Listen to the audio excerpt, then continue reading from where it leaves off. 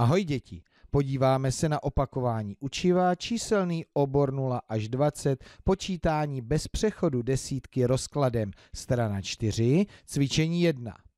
Přečteme si zadání. Vypočítejte, řekněte, jak spolu souvisejí dvojice příkladů pod sebou. Dvojice příkladů pod sebou. 12 plus 5, 5 plus 12. Podíváme se na kolečka. Tak, 12 plus 5. Vezmu si nějakou pastelku. 12 koleček. 12 plus 5. Plus 1, 2, 3, 4, 5. Plus 5 až sem. Tak a ten druhý příklad byl 5 plus 12, takže 5 koleček si vezmu, 5 plus 12, 1, 2, 3, 4, 5, 6, 7, 8, 9, 10, 11, 12.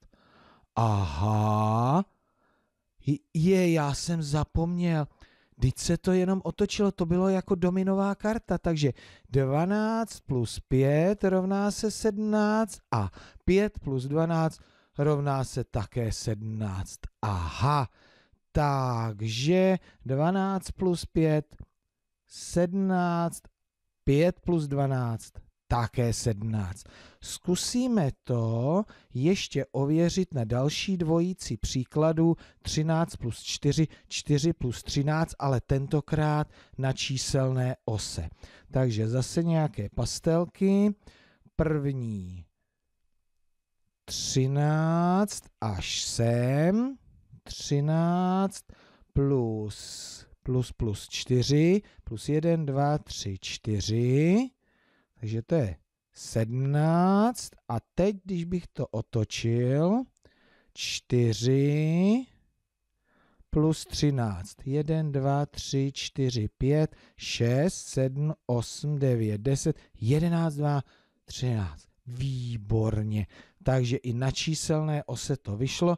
Takže když při sčítání vyměním čísla, tak ten výsledek se nezmění. Takže 13 plus 4 rovná se 17, stejně tak jako 4 plus 13, také se rovná 17. Na co mě je to dobré? No třeba dostanu k vypočítání takovýhle příklad.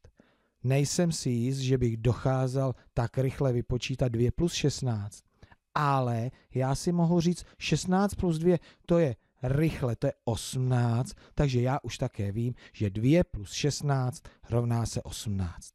Rozumíte? Tak to používejte.